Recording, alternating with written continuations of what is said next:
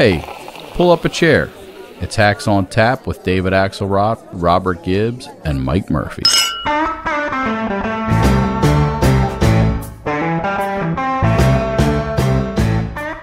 Raleigh, Saginaw, Milwaukee, Phoenix, Vegas, Atlanta, the Philly suburbs, Manchester, Dallas, and Houston. Donald Trump, as far as we can tell, has just been trying to win a third championship at his own golf course. My question to you, sir, can voters trust a presidential candidate who has not won a single Trump International Golf Club trophy? At long last, sir, have you no chip shot? Well, look, I'd be happy to play. I told him this before when he came into the Oval when he was being before he got sworn in. I said, "I'll give you three strokes if you carry your own bag."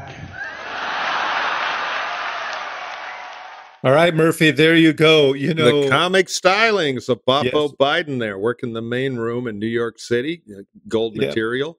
Radio City Music Hall. Oh, Radio yeah. City Music Hall. I'm waiting to see him at the Laugh Stop in uh, Columbus. But, you know, I, I like it anytime Biden gets off a good joke at Trump's expense because you're always making a 50 50 bet that Trump will explode and do something crazy because he has, as we've discussed, no sense of humor. But speaking of no sense of humor, we wanted to go in the Yes. opposite direction today with a very funny man. Uh, a political expert, a well known international media celebrity, dog owner, uh, and a pretty good polka singer. Little secret, the one and only John Heilemann. Johnny, Ah. welcome. Does anybody say singing polka? Is that actually a thing? Yeah. Oh, yeah. really? There's money. I want to say, you know, hey Murphy, you'll be happy to know. How do you think about- Murphy? How do you think Murphy got through college? Was well, I, I actually know that Murphy didn't get through college. That's the answer. Barely through high school. Hey, um, uh, thanks for having me on, you guys. It's great to be here. And I will say, Murphy, just to your to please you, um, I'm, yeah, my lease on my current car is just uh, coming to an end, and I'm going EV, baby. oh wow! Just because of Murphy? No, not because of Murphy. Murphy's got nothing to do with it. Despite Murphy, despite, Despite well, we're Murphy. gonna one, we're gonna talk. Two, you got to go to evpolitics.org and load up on merch. I'll give you the secret code. I got Fantastic. Jesus great Christ. stuff there. The, the, the slave labor in China has been working hard. Uh, on it's our like new working line. with Donald Trump. It's like working with Donald Trump here. He's We don't got do gold to sell. sneakers though. Though I'm getting a bid. I'm getting a bid. Does anybody else get a little squirrely when you hear like I mean Biden? I like it when he when he's funny about Trump, but like the golf jokes, I don't know. It's just No, somehow it's true. like it just it's bums very me. out. It's like. I'll spot you three strokes up yo if you carry your bag. I'm like, I, I I have a I have a question about the whole deal at Radio City Music Hall. I mean, everybody, you know, it was treated sort of like a message event. It obviously wasn't because none of it was uh, shared except for a few bites like the one I just shared with you. Uh, but you know, a glitterati at Radio City Music Hall is not necessarily helpful in general. Forget the golf uh, jokes, but 26 million is. Yeah, no, they're doing great on that. But a question on the event was this the three presidents thing? Was that at Radio City or Yes, was that yeah, that was somewhere else? yeah. the three presidents. Okay, Yeah, how'd they yeah, peel yeah. Clinton off the Rockettes? But I guess we, where that's a whole nother topic. Ah. I knew that oh, was it's coming. the easiest setup in the world. Come on, come on! I couldn't resist. I know. That's why I knew it was coming. there we go. Here all week. Tip your server. so is it a win? I think it was a win. It was a money win. He got off the soundbite joke, but was it the message event of the century? And was the venue right? I I, I agree with you. A little inelegant, but I take the cash. Yeah, no. But my point is, my point, I guess I was leading into a question. He is crushing Trump on money. And how much does that matter? I have, you know, Plouffe was down here with uh, Karl Rove, and we did a thing at Arizona State University. And Plouffe uh, argued that the money means less in a presidential race, which is true when both candidates are very well known. That was his argument when both candidates are universally known. But there was a piece down here in Arizona last uh, week that Trump has virtually nothing going on the ground because the state party is shattered. They have no money. Trump has no money. I think in these battleground states, that kind of stuff has to matter. Johnny, you want to grab that one, and then I'll bloviate. Well, look, I would say here. All of a sudden, here- he's polite. No, all the all the following things are true, right? One, one back when back when Bra- I remember the good old days back when Barack Obama would host his would have his Jeffrey Katzenberg fundraisers. There would never be like Rockettes or anything else. They'd be hidden away somewhere in the hills in the, in the Holmby Hills. Nobody would know who all the people were at the uh, at the uh, Obama fundraiser. You never were like, hey, let's go to Hollywood and do a big fundraiser with Jeffrey Katzenberg and, and like tr- trot that out because that's Right, always good for your exactly. image as in Middle America. Um, but I do think the, the the numbers were a flex, right? I mean, you could, to do an event like that.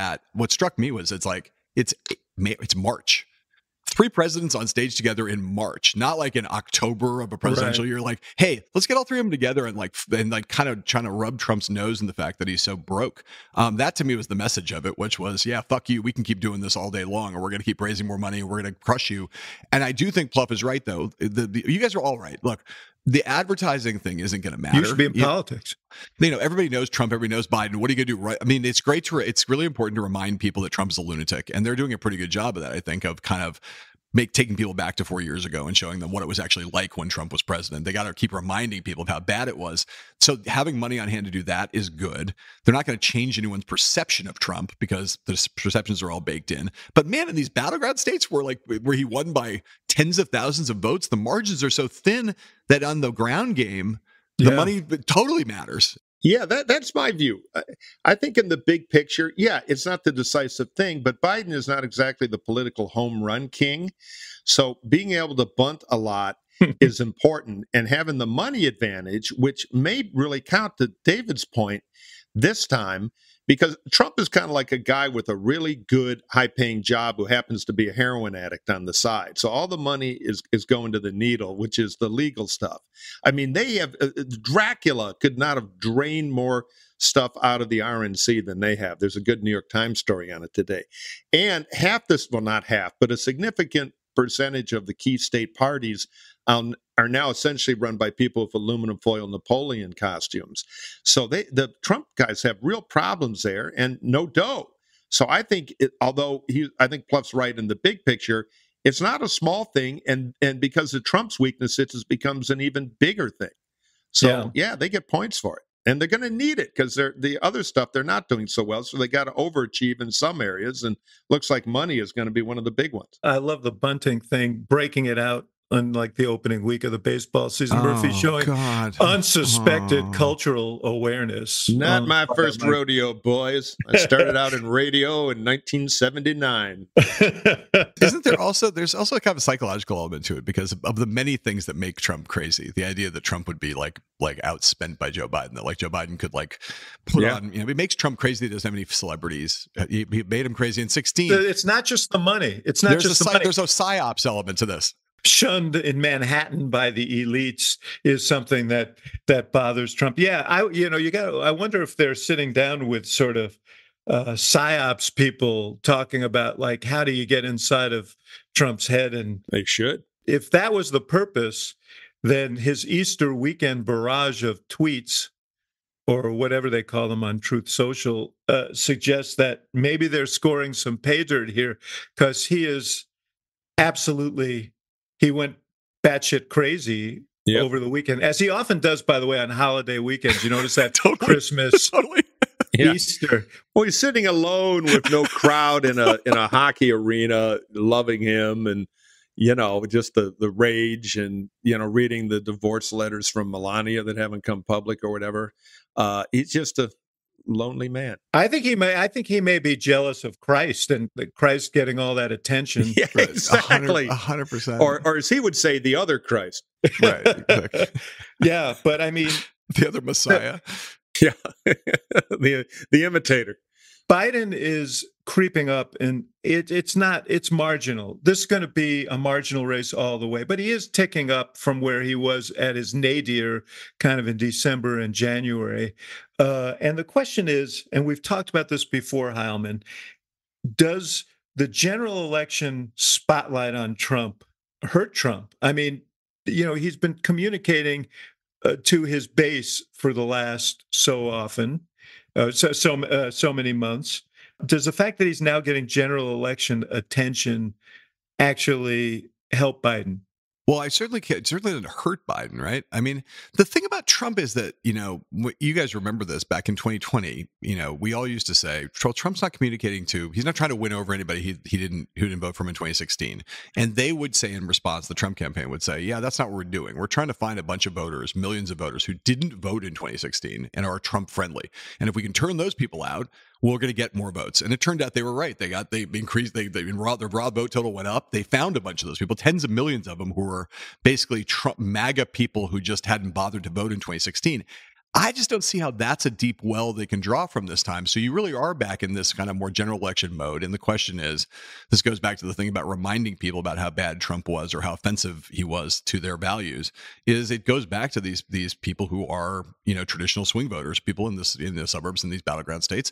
And I just, you know, the, the for a lot of those people, they have been, I mean, we know no one's watching Everyone has turned off politics. Everyone hates this race. The network ratings are down. Uh, there's no Trump bump. Everyone is like thoroughly like, oh God, when am I going to have to actually tune into this thing? I don't want to tune into this thing. You're, most Democrats, most Republicans, just I, I will tune in eventually. I will vote eventually, but just I like as defer this pain as long as possible.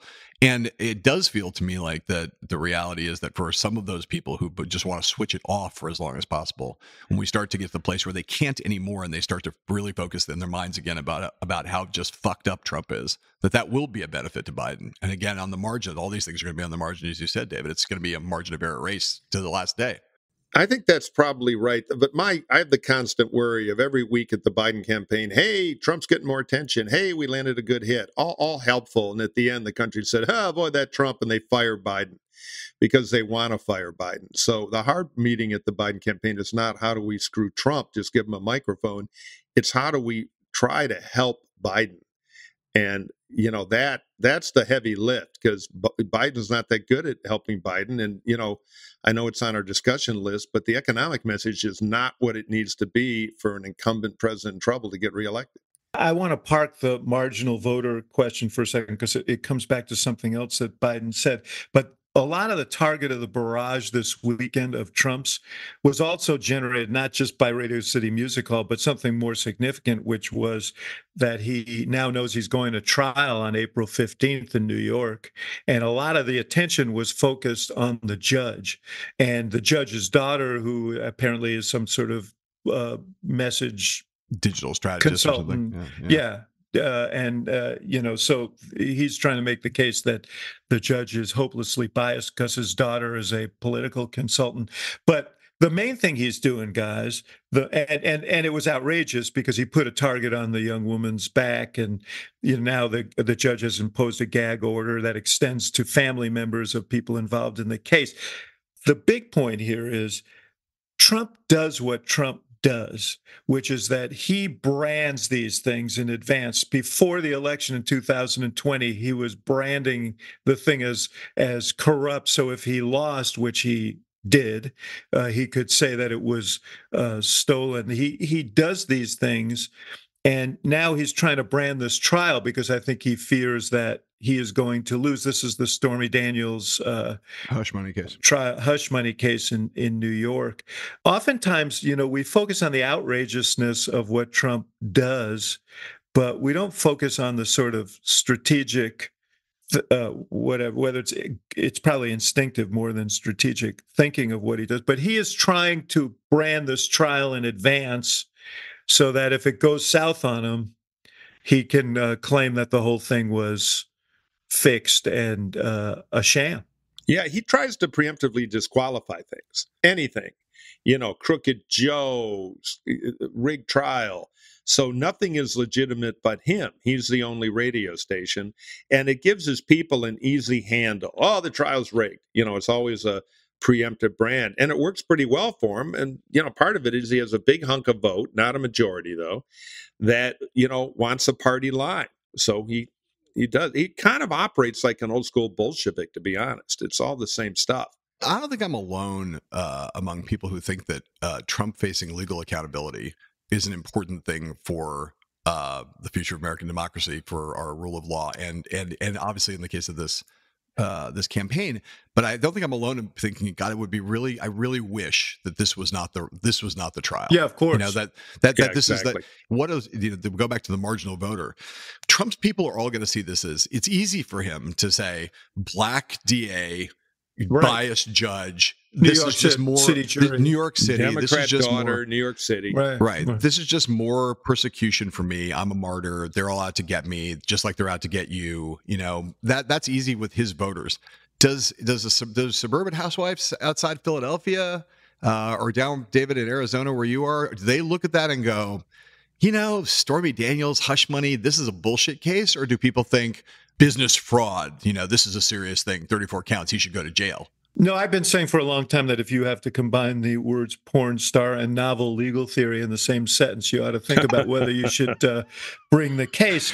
But uh, one interesting thing that either one of those on its own, though, is fine. You know. yeah, exactly. One of the th- one, one of the things that uh, struck my eye this morning was that there's a report that Hope Hicks is going to testify for the prosecution at the trial. His old sort of public relations, you know, uh, person who was very, very close to him.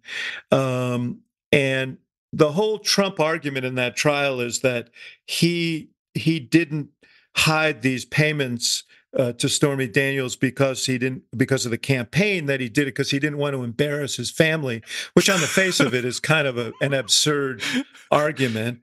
So the whole of the last eight years knocks that down. Like if you're not trying to embarrass your family, there's like oh, there's something that happens almost every day that you but she she could specifically knock it down if she if she says you know what he was really concerned about that if that story came out before the election after the Access Hollywood tape, that uh, that could sink him, and so he was very interested in keeping it from being publicized. That would be pretty bad for him. I think so. It would light up Truth Social. Talk about angry, bitter, heartbroken Trump. But the problem is that you know what the average Trump, you know, voter supporter will think, and and this is the kind of sloganeering within it in our postmodern era, they just quote the the banner that probably ran over the DNC across top of the building in the 90s. It's only sex. So if it's only sex and it was okay for Bill Clinton who didn't go to jail, why should Donald Trump? Because the system is rigged. And you know, kind of an ironic twist, but it's the same defense and everything in politics has some symmetry to it. So yeah, I think none of this is good for Trump, uh, but I'm not sure it's killing for Trump. I agree with Heilemann that that this is the this if you if I'm sure that no one on the Biden side, you know, for all this bullshit of Trump's that Biden is orchestrating all this, you would not orchestrate this as the first trial he faces. No, Trump would just just a public service uh, uh, uh, message here for your listeners. When Murphy said there was a banner over the DNC that said it's only sex in the 1990s, that actually that there was not a banner over the DNC. Oh, of course not. Sex. I'm arguing by exaggeration, but it was the mantra. In case anyone's confused about that, it just came out as a little. We have like, a highly educated audience of political hacks, fixers, and I thought you other, guys were going like I thought you guys had gone mainstream. I thought this is like the who told Heilemann that he was the fact checker here. Yeah, exactly. Save it for Rogan. I've heard you guys. I've heard you, I've heard you guys are like the smart list of, of political consultants. Let's stop for a minute and listen to a word from one of our fine sponsors.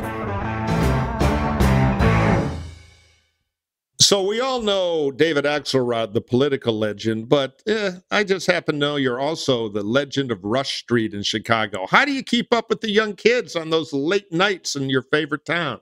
Well, I do enjoy a good night out every once in a while, my friend. And being a Murphy, I think you understand that. I'll tell you what, it works out better for me now because I found ZBiotics. Yeah, you know what ZBiotics is?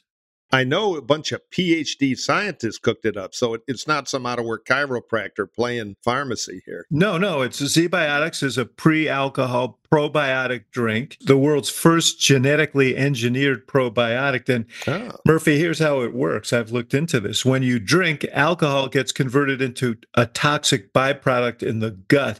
It's this byproduct. You, you know, I always thought it was dehydration, but it's not. Oh, really? Yeah, yeah. It's that toxic byproduct in your gut that's to blame for your rough next day. Well, ZBiotics produces this enzyme to break this byproduct down. And you, the whole deal is you just remember to make ZBiotics your first drink of the night. Drink responsibly, and you'll feel your best tomorrow. You know, I did hear about this because we got an email from one of our listeners down at Miami Beach uh, on a on a weekend uh, celebrating. Yeah. I won't go into details, but they they sent us a little testimonial. They heard about ZBiotics on our podcast. They tried it out and it really, really worked. So I've got some here, and uh, I'm going to find the appropriate weekend to give it the kind of rigorous lab testing that we do. But uh, this stuff, uh, we're getting great feedback on. If it passes your lab test, Murphy, we know it works. So you go to zbiotics.com slash hacks to get 15% off your first order when you use hacks at checkout. ZBiotics is backed with a 100% money back guarantee. So if you're unsatisfied for any reason, Murphy, they'll refund your money no questions asked. I like these guys. So remember, head to zbiotics.com slash hacks and use the code HACKS at checkout for 15% off. Remember to always drink responsibly. Thank you, ZBiotics, for sponsoring this episode and our good times.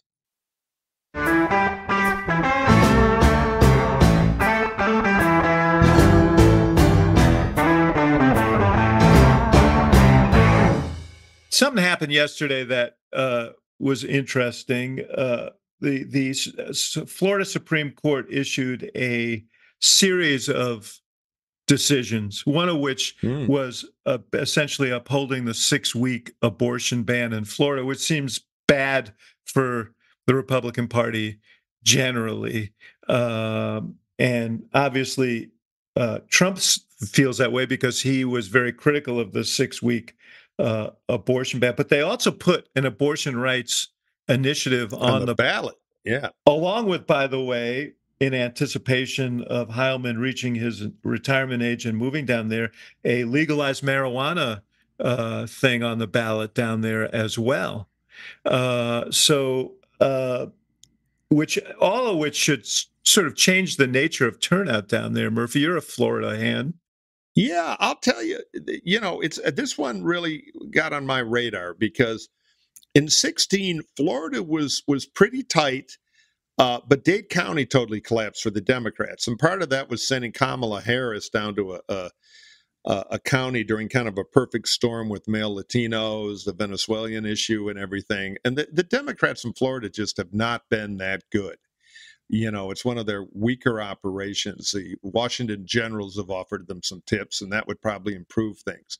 But this, this could put Florida in semi play, which is another resource drain. So back to the money thing we opened with, the Dems can afford to go sink real dough in there uh, and try to light it on fire. And the Trump campaign, it's a resource drain. They're not really ready for it. It's another wobbly state party. You know, I would give Trump the advantage there. The state's been moving in a Trumpy direction, but this issue has power. It'll be on the ballot. So I think Florida goes into the interesting column now.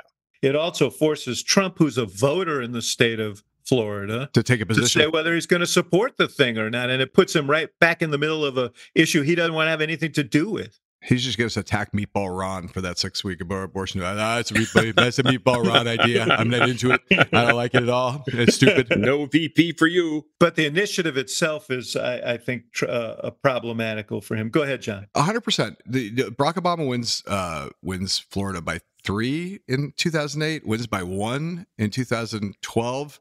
Hillary loses it by one in to Trump in 2016, and uh, and Biden loses it by three in in 2020 like Florida's like getting redder and redder. Not trending, and, yeah, not trending in the in the blue yeah, direction. In the, right, in the right direction. And so I don't think anybody in the Biden campaign today says, you know, this is now a battleground no, state. No, I do think that people in the, in the Biden campaign are going to watch it pretty carefully. And to Murphy's point, spend a little money down there, make Trump, you know, be worried about it. If you get to September and the thing is getting it's tighter one more reason tighter, having more money is helpful. Exactly. And and if the thing is getting tighter and tighter, then you can start to really, and you have still have that big financial advantage. You can really do some, you can really mess around down there. And the two big trends in that state, and, and I'm not from Florida, and I will never live there in retirement, no matter whether they legalize weed or not. It, but it's the two biggest trends are what's what's happened is is that it, we have they're colliding right, which is Trump's strength with Latinos is real it's the reason why he that the whole difference between beating Hillary by one and, and Biden by yeah. three has been the collapse of Hispanic support, right? Uh, exactly, right. especially in Florida. So you've got one trend line, which is that Trump is riding that wave of of increased Latino support, and then you've got the the what really is the truism of our time, which is anytime the abortion's on the ballot, Democrats have benefited, and that forget about what the polling shows every you know from Kansas on. Yeah, yeah, we've yeah. just seen it. So it's like you've got abortion abortion politics playing for Democrats. You've got Latino ethnic politics playing it for Trump's case. Probably it still means Florida's out of reach for Biden, but I can imagine you look up in September and we go, uh, hold on a second here. This thing's like really in play. And, and the Dems can afford a $70 million bet there to light the Yes. place on fire. And that is a strategic move that's smart. We've talked about this before, but uh, this is not the only state where there is uh, an initiative or potentially initiative on the ballot. Uh, Right. De- uh, Democrats are fighting hard to get the initiative on the ballot in Nevada, in Arizona. They're going to need it. They're going to need it in Nevada. No question, no question about it. Uh, and look, this is one of the issues that will have real appeal to younger voters uh, who are not very motivated right now, uh, uh, and certainly and certainly not trending uh, in the way that Biden needs them to trend. There's anger about a lot of issues, economic issues about the war, uh, but this is one that really does uh, rally them. By the way, uh, Biden uh, posted a an ad this morning that we uh, that is right on this point. It's very strong. because for 54 years they were trying to get Roe v. Wade terminated, and I did it, and I'm proud to have done it. In 2016, Donald Trump ran to overturn Roe v. Wade. Now, in 2024, he's running to pass a national ban on a woman's right to choose. I'm running to make Roe v. Wade the law of the land again, so women have a federal guarantee to the right to choose. Donald Trump doesn't trust women. I do. I'm Joe Biden, and I approve this message. That's a pretty straightforward, s- Ad, very yeah. straightforward, right at him using his own voice. Comparative, Murphy. It's a contrast. This is like right down Main Street area. It's a good play. I'll take the contrarian point on one part of it, though. Yeah. I love it to set Florida on fire. It's great in Nevada, uh, uh, another state where it's on the ballot. You can overestimate the power of the abortion issue in Michigan and Wisconsin, and to some extent Georgia. Um, still a winner, but not quite the sledgehammer. People forget. I mean, you won't because you know you started with uh, with Wilson, but Michigan was uh, the a very strong Democratic Yeah. pro-life state, kind of like Pennsylvania. Some of that's still there, so it's a it's a double there, not a home run. Look at the midterms in yeah, Michigan. yeah, no, I agree. I've I've, I've they looked had at it on the all, and- ballot. Yeah, Gretchen yeah. Whitmer wins by ten over ten points there for Yes. governor. And they get the constitutional thing yeah, there yeah, too. yeah, but it was a lot more than abortion with her. She's she's got a lot of. So my, my But point all is, the candidates did well. All the Democratic candidates did well. it- it is a cushion for Dems, and in the Upper Midwest, it's not as strong in a presidential race. in Michigan, it's the reason that Dems took over for the first time in 40 years both chambers of the legislature. In, in a midterm, third less Well, turnout. they also it wasn't it also the constitution. They also got a constitutional, didn't they? Also change Yeah. the Michigan state Yeah, yeah, constitution. yeah. yeah, sorry. No, it's a whole thing, right? majority Yeah. position, but I'm telling you, Yeah. the, the Dems are clinging to this thing like Biden's age doesn't matter. We we have this issue, and Well, I'm just saying foolish. it can be Yeah. overrated. In those states, it's not overrated. In many other, in most states. I agree. Let me ask you one question about this Democratic turnout. Democratic turnout has been uh, disproportionately good. Democrats have been on a real roll since the midterms in special elections and regular Since Dobbs, elections. since Dobbs. Right, since Dobbs, yes. I always say that the two most valuable players for Democrats are Donald Trump and Sam, Samuel Alito. But you get to the, the question that hasn't been answered is can you uh, extrapolate from what's gone on in these elections to a general presidential election? It used to be. That's the key. It used to be that Republicans had an advantage in these elections because highly educated, well-to-do voters came out in greater numbers than uh, than what was then the Democratic base. Now the bases have sort of flipped. Flipped. Yeah. So the question is, does that trend hold in a general election? Or do the more culturally conservative downscale voters who show up favor Trump, not as worried? But I don't. That's such a funny thing, though, because of course, in the midterms is when we normally think about that. Low turnout elections will always favor Republicans, and I just I feel like the Dobbs thing is is not is uh, Murphy. To your point, I'm not sitting here saying no. Joe Biden's age is an issue, and this will be the silver bullet, and it's all fine. Democrats will be. Biden's got it in the bag, but I do think that we, we've seen Yeah, and I was one of those people who, after Dobbs, was like, I have no idea what's going to happen. We've never seen anything like this before. A right taken away. Will people mobilize? Will people turn out? I don't have any idea. But in like every in, every time it's been a test, every time it's been a test of it in every state, red states, blue states, purple states, it's it's been a giant motivator. And I just there's not been a contrary piece of evidence. We don't know what will happen in this general election, but there's not been one thing you can point to where the power of Dobbs has not been greater than expected by Agreed. even people who are even people who thought it would change a lot are still kind of like blown away by how much it's changed. The whole question is the new factor Biden, who they want to fire on the ballot. That's the only new factor. And is that big enough to partially eclipse it or not? I, I think it will eclipse it. The question is to what degree. But it's net net a plus for the Dems on every level and almost every place. By the way, this Florida ruling, which will have reverberations in other states on the six week ban, is going to re- reignite the issue again. Uh, the Supreme Court has some matters in front of it that could uh, as well. But listen, you guys talk about these voters who are disinterested uh, right now, not engaged, uh, da- uh, uh, generally economically on lower economic rungs, and so on the, these voters, I mean, poll after poll after poll suggests that the economy is really a big issue for them. I want to play something that just it just drives me nuts, and I'm going to say it every week until the president, who's an avid listener of this podcast, finally gets the message.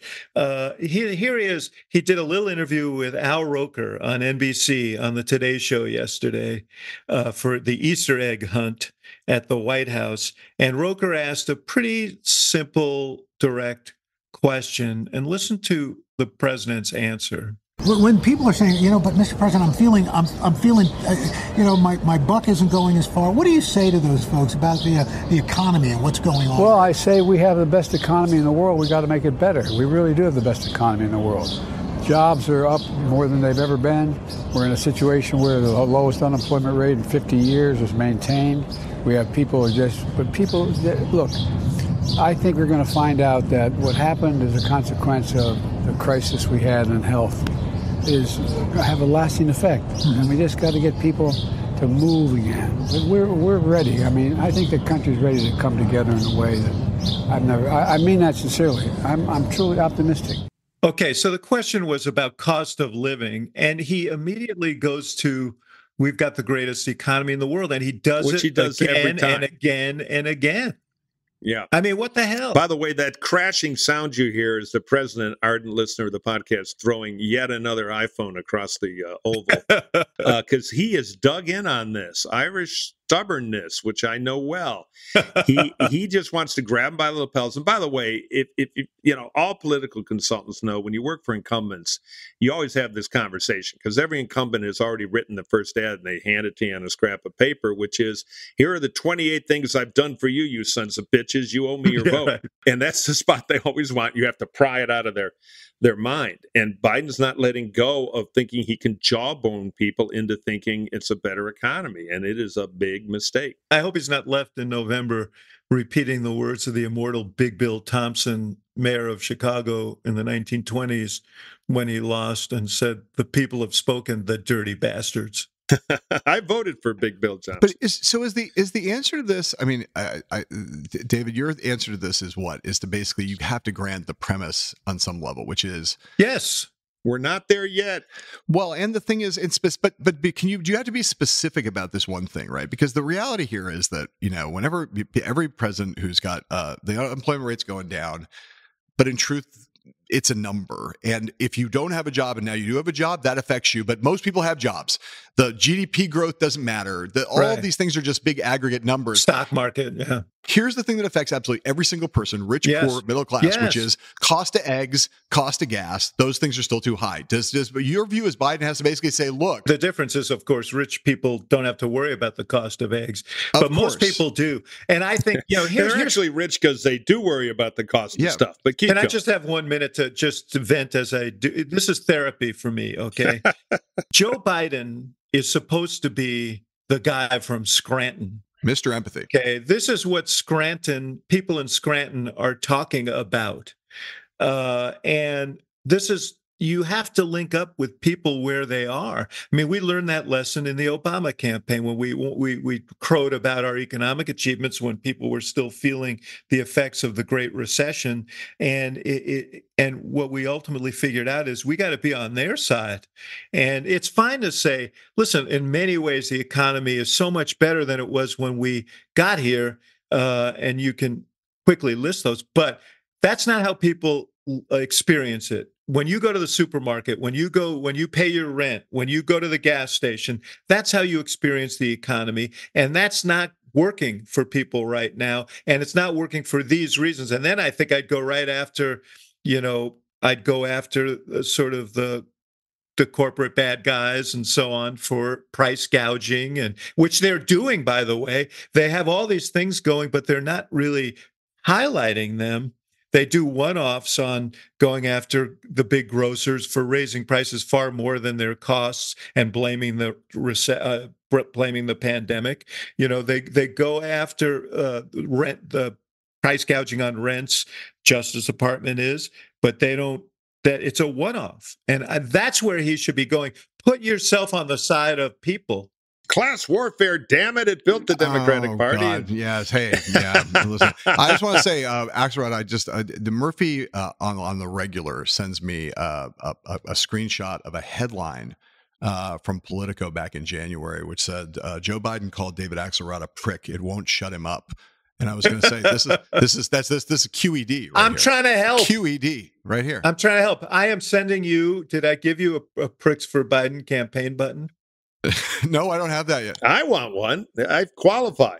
Yeah, you got. You don't have one, Murphy. No, no. Come on. I, I, sent you all that EV merch. Come on. I have a, a tranche of them sitting in front of me on my desk. They'll be in the. Better have a union bug. Murphy's going to run the motor pool for that organization. With fill it all with the EV cars, and uh, and I'll be the treasurer. I can uh, I can do a lot of embezzlement. I can do a lot of Time to organize. Uh, but look, I, let me just say, I don't agree with some of this stuff ideologically, but as a matter of politics, God, why he can't start where people are, which is stuff costs too much, and then say we're doing the hard work. And the question is, as we land this thing and the economy does get better, whose side is who on? Trump's right, on his side. I'm on your side. A hundred percent. That's what you have to pick here. Who's going to land the plane and on what runway?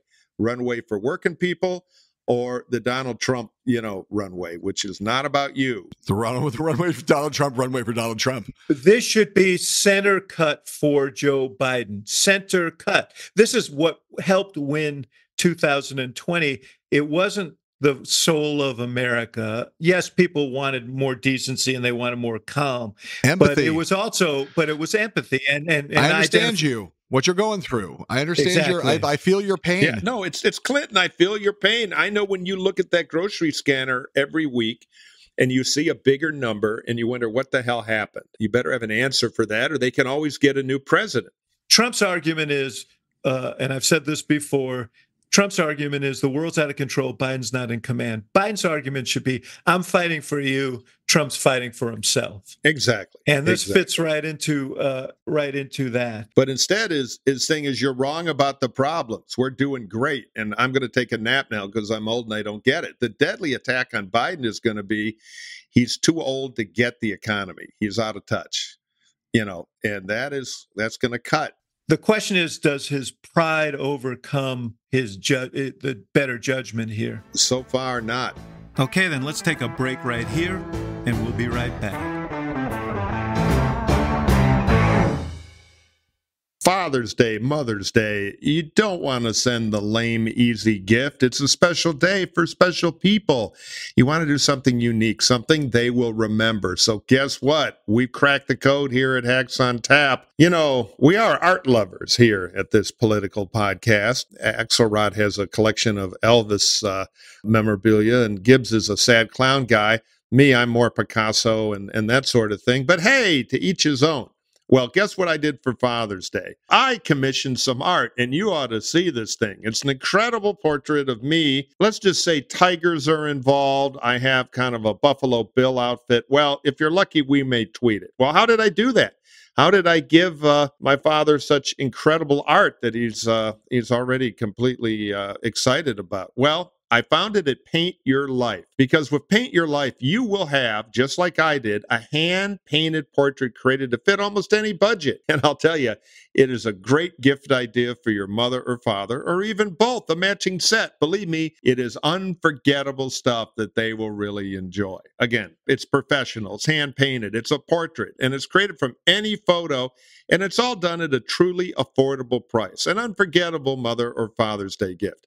All you got to do is upload photos to create anything you imagine. You can add a little artistic license like I did. Put yourself in a location, the Oval Office, the King of England, whatever you want to be. And you've got lots of options. You choose an artist, you know, way you pick the style, the art medium, oil, acrylic, watercolor, charcoal, or more, and an incredible selection of quality frames. It's a very user friendly platform. It lets you order a custom made hand painted portrait, get this, in less than five minutes. And you can communicate directly with your artist to make sure the portrait is painted just like you dreamed. So get a hand painted portrait in as little as two weeks, the perfect birthday, anniversary, or Mother or Father's Day gift, or both. It's meaningful, it's personal, and it's heartwarming. It's the gift that'll warm your mother and father's heart.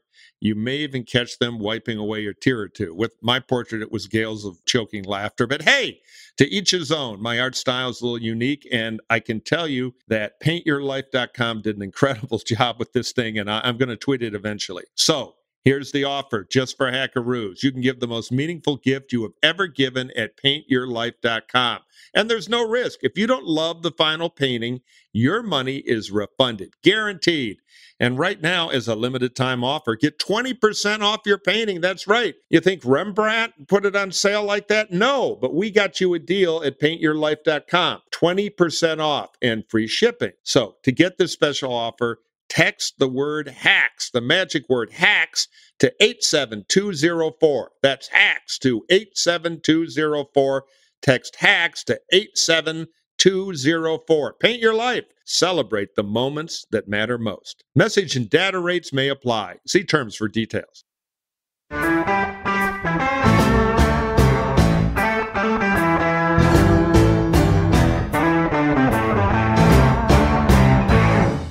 Last question that also came up in my session with Plouffe and Rove was should Biden debate? Plouffe was very, very strong on he has to, he needs to. Where was Karl? Yeah, what did the Rovers say? Karl said he thought that the debates would be decisive. And Karl made the point, which is absolutely right, was it's less how it's less what people say than how they say it in that debate. Yeah, and if Biden that. if Biden holds up, then uh, you know that would be his stress test. Uh, and so the thing is that Biden has said, when asked about this, we'll see how he behaves. Now, as I pointed out there, if that is the test, he's he's not biting. There's no debate. Though somebody will be losing, there will be a debate. I think they're wanted. But I would amend what Plouffe said. It's really important that Biden have a good debate not really important he debates. Well, I think what Plouffe's saying is that he needs to he needs to do it to pass the test. Right. I totally agree with that. Like Reagan in 80, just to put it in parlance that you yeah. relayed to, Murphy. Or like the State of the Union, and, and, and, like what he had to do in the State of the Union. There's like these basic performance tests. Like I, you right. know, I mean, I know you guys talked about this on the on the podcast, but it's like you know, the State of the Union was a big deal. It's a big deal because a lot of people were like, you know, Joe Biden he's going to basically be like a cadaver up yeah, there. Exactly. He got up there, It wasn't a cadaver. It didn't matter what he said. It didn't matter how he said it. it didn't matter that he went too fast. It didn't matter that he. None of it mattered. All that mattered was that like that dude was like, he oh, hey, he's not rounds. a cadaver. He's not drooling on his shirt. Great. Yeah, yeah. and he knew who he was, and he was right. not out of his mind wandering around calling people by the wrong name. He exceeded expectations. One thing that he will benefit from in a debate is low expectations. Well, and also just think back to 2020 when they debated. The debate, the first debate was one of the great shit shows of our time. And right. the honest to God truth is that they both were terrible in it. But the truth was Biden didn't seem like a lunatic. So it was kind of like he ended up winning that debate, not because he was particularly good at it, but just because he was able to stand up there on stage and watch Trump like fulminate, you know, and do all this kind of craziness. They're seen as a win for Biden. I think that could happen again. I mean, Trump, it's this is a place where th- there's this thing, you know, the the liberal talking point, which is Trump is is is diminished mentally. Biden is diminished mentally, uh, but but people only pay attention to Biden, and Trump is worse, and all that. And there even there's some truth to that. But the reality is that like in this setting is when you could actually benefit from that. Where Yeah. Biden being no one's going to care if Biden stammers a little bit, stutters a little bit. If Trump's sweating, red faced, raving, Well, and think about where Trump's head might be at that point. Bonkers. He may be convicted. We don't know whether he'll have been tried on the January 6th thing, but this is not just about winning election for Trump. This is like about staying out of jail. It's about staying out of jail. Yeah. So uh, there'll be a, an element of desperation there that uh, might come into into play. Well, we'll see whether that happens. Uh, maybe on both sides, because Trump, uh, Biden, uh, with this economic message, could still be losing. So Yeah, for sure. two desperate old guys, you know. But again, He's got to get off that man. to win, Biden needs a good debate. That is like golden rule of gravity of the campaign, and they ought to start working on that every single day. I'm sure they're thinking about it. you know, I don't know if they have any confidence in him. When they punted on the Super Bowl interview, Yes. the easiest thing in the world to do, a, a, a really good chimp could get through that. And and they were afraid to do that. That means there's a good day and bad. Something's going on on the staff level that makes them really afraid of their guy being out there. And I think it's an illusion for them to think they have a choice. Here's a great hacks on tap real insider thing. Ooh, deep, deep yeah. insider thing. What See, Rogan doesn't have any of this. what does it mean, David, to Biden's ability to debate to have to do debate prep probably without Ron Klain Well, there are other people who are good at I debate know. prep. I know Karen Dunn. There are people who've learned at Ron. Klain. There's great debate prep people, but Ron Klain's been every Biden debate prep forever, and he's the best one ever. Yeah, he's he's he's great. Uh, we had Klain and Tom Donilon back in uh, 2008. Uh, Tom being very close to Biden as well.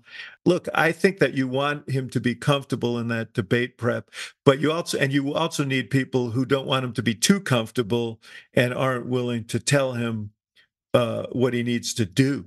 Exactly. Uh, maybe change it up. But I- I've been through debate. I've been through a couple of debate preps with Biden. You know, it's a he. He has his own way of doing things, and uh, David's also been through a couple of debate preps with Barack Obama, who wasn't always the easiest to get through a debate prep. Well, to be honest, nobody. yeah, Debate prep is a pain in the neck. But uh, listen, Obama was he was mostly better than anybody I've ever dealt with on that. So um, Well, you know who is really great at debate prep? The late Joe Lieberman, who I think we're Oh, going to do. How's that for a transition? segue. Yeah. I just like Joe. I did a speech gig with him about a year ago. He was sharp on top of it. And he was appalled. This is the thing people don't know about Lieberman. He loved to talk campaign stuff and old campaigns. He was a total junkie for it. He actually wrote a book about a famous Connecticut political boss.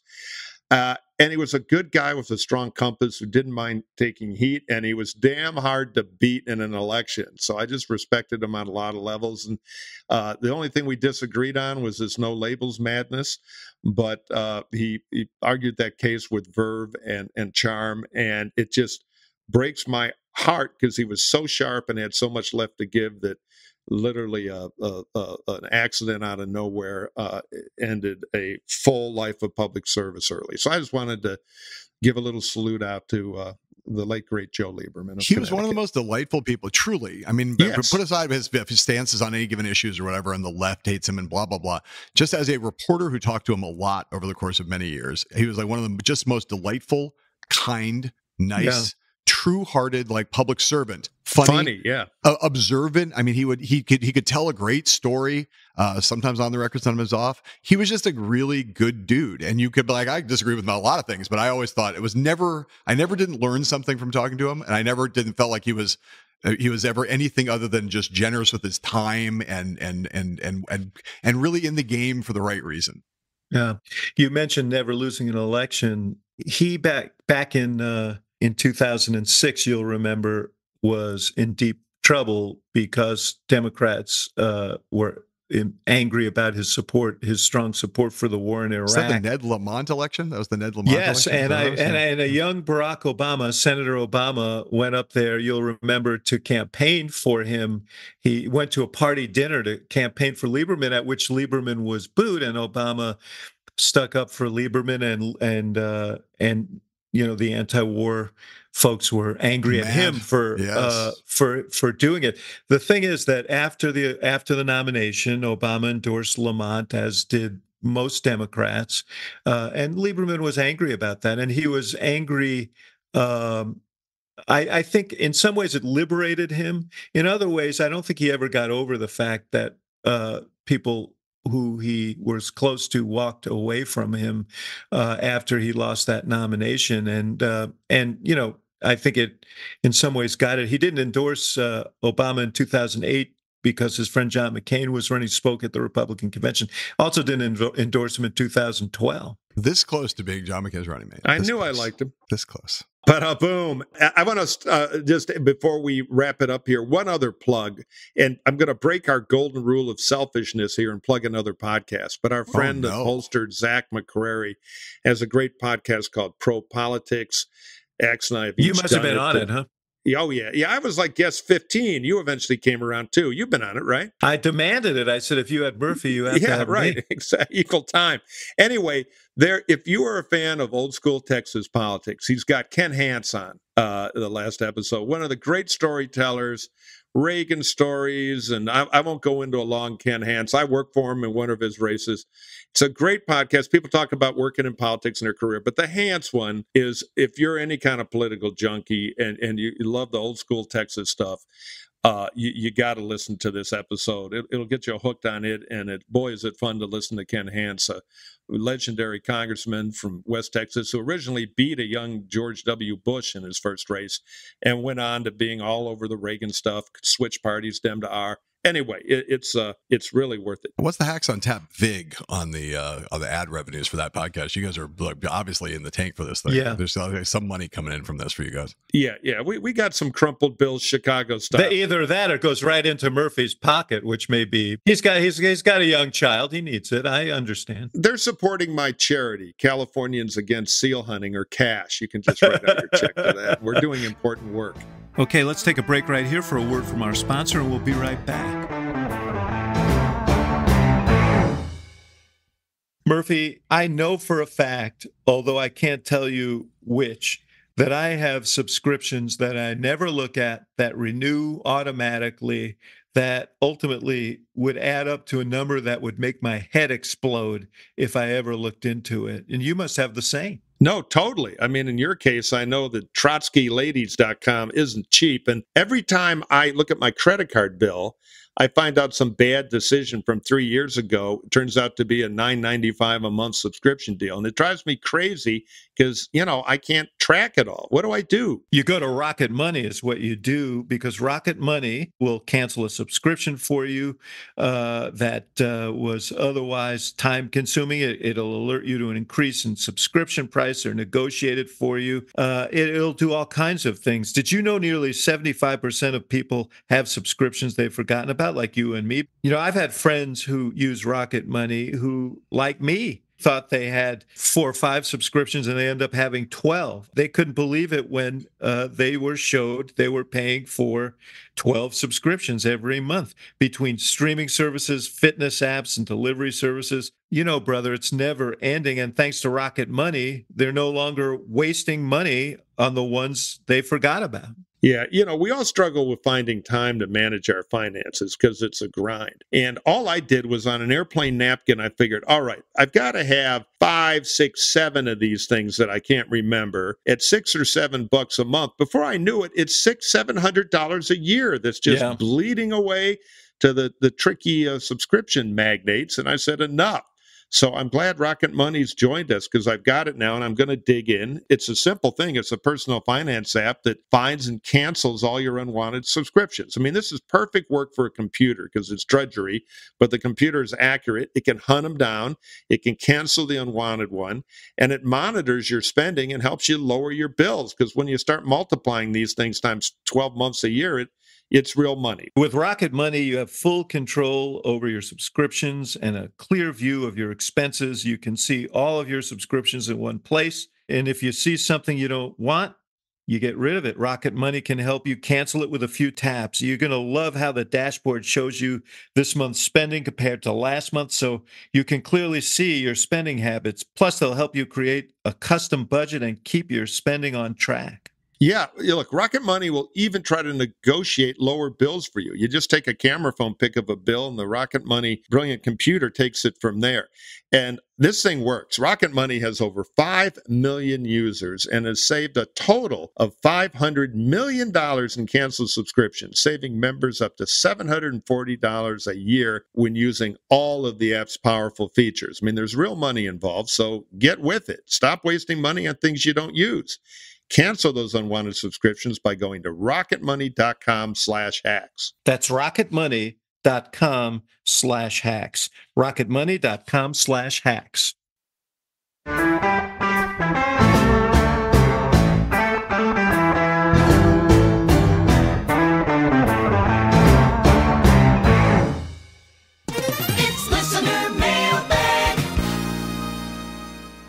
All right. If you have a mailbag question, just email it to us at hacksontap at gmail.com, hacksontap at gmail.com, or we got all fancy and now we have a phone number where you can leave us a voicemail. We'll do it on the air. Just use your name and try to keep it around 25 seconds, okay? We're, we're not doing a two hour pod here. I can never remember the numbers, so they made me record it.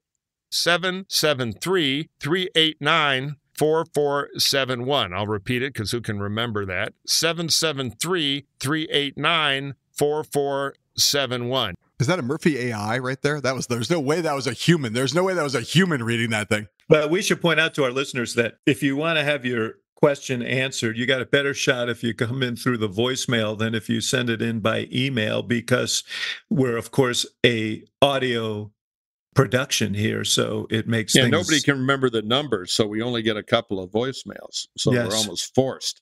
Seven eight nine four five three nine two one one. I sound like Ramona Lemmy. Somebody email us if you know who Ramona Lemmy was. A great trivia question. First question for brother Axelrod. This is from Kenny, and it's voicemail. Hey guys, it's Kenny in San Diego.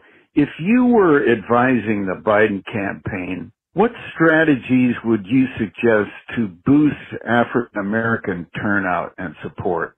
Thanks a lot. It's a great question, Kenny. And uh, I think it's probably one that is absorbing a lot of brain power over at the Biden campaign right now, because as we've mentioned here before, if you look at poll after poll, Trump is doing better among African Americans than Biden can afford uh, right now, uh, polling in the between 20 and 20 as high as 24 or 5 in some polls.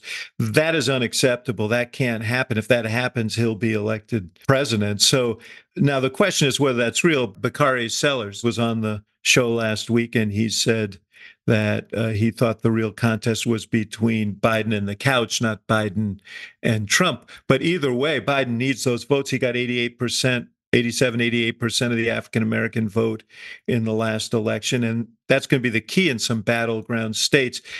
Uh, and I think that uh, two things. One is I think a lot the they have to make the, it's young black men who are uh, peeling away most uh, readily, and I think economic arguments are uh, going to be very very important there. And I think comparative is very important there. Uh, I think comparative, frankly, is the way they have to run this whole campaign. I don't think uh, selling people on uh, the uh, on the beneficence or whatever of the Democratic Party is going to carry the day. Uh, they need to understand the choice and what the implications are on the economy, uh, maybe on criminal justice issues, maybe on uh, uh, education uh, and uh, student loans. Uh, They need a basket of issues, but it needs to be in a comparative frame so uh, people feel like they have a stake in the choice, not just a stake in Joe Biden or the Democratic Party. Mike, I'm going to give you a question from a guy named Mike. Oh, it's going to be Mike good. wants to know from Mike why do third party efforts always seem to focus on the presidency where they have no realistic electoral prospect except spoilers? Wouldn't a Congress focused effort make more sense? Yeah. So the, what normally happens when you have a wrong track election, where most people think things are seriously off on the wrong track and they're all grumpy, you have a bunch of people who kind of want to vote against politics as usual. So that's when these independent things get kind of attractive, at least for a while. You know, you had Ross Perot, kind of a populist revolt. You had John Anderson, a wine and cheese liberal Republican revolt in 1980. So here we are, wrong track election. People don't like politics. They don't like the two choices. So it's fertile ground for one of these things. Now, often they fall apart late, by the way, uh, but they can still have in the right places an impact that's normally a spoiler. So yeah, I, I think it's kind of silly to focus on the presidency. Well, what about? But but the question he asked is, what about third party efforts on? Yeah, yeah. No, I'm winding around races. to it. I'm okay. I'm, I'm, I'm doing this Axelrod right. style. I'm running all four bases here. I'm double parked, so hurry up, will you? um, uh, yeah, you you got to move to a safe location because Biden's already sent out the ninjas. Uh, so you know there might be a few congressional places where it's a better area to test it. I mean, Joe Lieberman, who we talked about, uh, uh ran an independent campaign uh, successfully uh, for the Senate. So it's a better idea to try it in Congress, but it's generally hard. We're in a Coke Pepsi system now. Now, once we might have voting on mobile phones and all the, you know, jets and stuff for the future democracy, that might break down some barriers. Though, having worked around the world, including in multi-party places, you know, careful what you wish for. There's a certain focusing effect of our two-party system, but it, definitely it's a waste on the presidential level, and it can can lead to stupid spoiler things. And I think Biden faces that threat this year. Did you guys see that Bobby Kennedy clip when he was on uh, that, that out of his mind on uh, on Erin Burnett the other night when he was like, no, no, like, I, I I missed that. I had family, and what happened? She she basically said, "Do you th- do you think there's really any argument that that that Joe Biden is as great a threat to American democracy as Donald Trump?" And, and Bobby Kennedy was like, "I can make that argument. I can make that argument." He's, I mean, like I, I just haven't seen him be quite as nakedly anti, just like this is so uh, nakedly anti-Biden. Like not like a, the the idea that Trump, just to see him like kind of on television saying this thing about that's. I mean, I don't know whatever you think about Biden. Listen, for the Biden people, I think uh, I think the more he plays to the Trump constituency, the better. You know, they need to strip away these young people who are attracted to him by his anti-corporatism and by climate and so on. All right, batting cleanup here for John from Ellen. If Trump loses in November, how will his power over the party change? Will ours still feel the same need to bow down to him? It seems like there are a fair number of ours that are tired of living in fear of his retribution if they disagree with his insane ideas. What say you? Well, I say first that if Donald Trump loses in, in, November, the first thing will happen is though he'll try to stage an insurrection. Um, so we'll see how that goes. Um, and then if the insurrection fails, uh, he's probably going to end up in jail. There's no doubt that a, a jailed, de- defeated Donald Trump is over as a as a as a personal kingmaker in the Republican Party. I think that fear of retribution has really never been the main issue with Trump. The main issue with Trump is that people in the party are afraid of Trump's voters. And the party has become magnified by it's a process that started before Trump, and Trump uh, accelerated it and then kind of, uh, uh, kind of consolidated it. You know, will people in the Republican Party still be afraid of the MAGA base? That there are people that that that those voters who love Trump are still out there, and will the kind of voters who the kind the, the normal Republicans will they still be afraid of their own voters. I think they will still be afraid of their own voters. Donald Trump, though, if he loses, will be a completely, I think, tight. He will not be a force any longer in American politics if he loses and then fails in his effort to try to steal another election. I agree. Ag- agreement. I agree. Wait, agreement. Does uh, Murphy? What do you I think agree. about that? No, he'll be think- a husk. He'll be washed up, two-time loser. No, no, no. Of course. Listen, I think his problems are his. He's going to have. You know, he has. Other, he's going to have other problems other than leading the Republican Party if he loses this election. I, I've always felt this election was his yeah. he's going to find out that in the in the can hairspray costs more than a few cigarettes. It's going to be a hard time for him. No i mean I, have always felt that this was his that this was his um, legal defense strategy was running for president again. That was uh, like a big part of what he was out to do. So i don't think the republican party i think his constituency will live and there will be others who will try and grab a hold of it and there'll be a fight as to who the new generation leader is of that movement uh, and I'm not sure anybody can replicate what Trump has done. But uh, I don't think uh, that he is going to, having lost again and facing all the legal peril he has, is going to continue to be the leader of the Republican Party. All right. There we go. Johnny Heilemann, thank you. It's great to see you, brother. You, you got to come back more often. I mean, how many invitations do we have to extend? Well, Murphy just somehow for conveniently loses my number just every, basically every time after I've seen him. This will be all about six months from now. I'll be like, I requested you this week. I'm your only friend. Never forget that. And I'm going to call you about EVs. Uh, we're gonna we're gonna sort that out. I look at you. I think Rivian.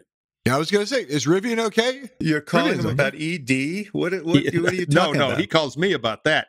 Uh, EVs, electric oh, vehicles. EVs. Yes, yes, yes. EVpolitics.org, America. Join the movement. But yeah, I'm happy to hear it, Johnny. Whenever I'm feeling flaccid, Mike's my first phone call. Uh, I'll talk to you guys later. All right, now we absolutely have to go. Yeah, no, let's get out of here. All right, see you, pal. All right, okay, see, see you later, guys. Bye.